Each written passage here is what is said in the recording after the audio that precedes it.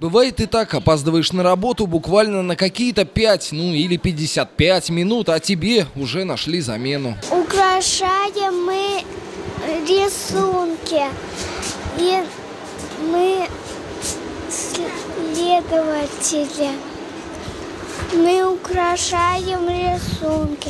Но не судите строго, для Жени это всего лишь проба пера. К тому же сегодня она проявляет себя еще в качестве художника-декоратора. В составе детсадовской бригады Женя украшает трамвай новогодними рисунками. Сюжеты, учитывая приближающийся праздник, вполне предсказуемы. Снеговики, Деда Морозы, елки, шарики, фонарики. Но есть и обратная сторона этого предновогоднего творчества. У мамки не получалось, и она так просто сделала.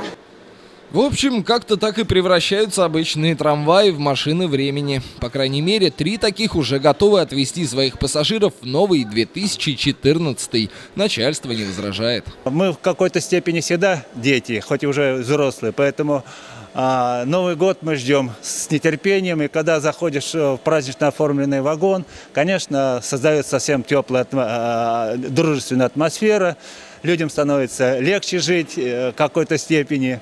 Такая вот внеплановая модернизация коснулась обычного, казалось бы, трамвайного депо, которое на самом деле станция по производству машин времени. Но это уж моя коллега нафантазировала, новоиспеченный сотрудник новостей Женя. Женя Разманова, э, Сергей Приморский, объективно и в НТВ.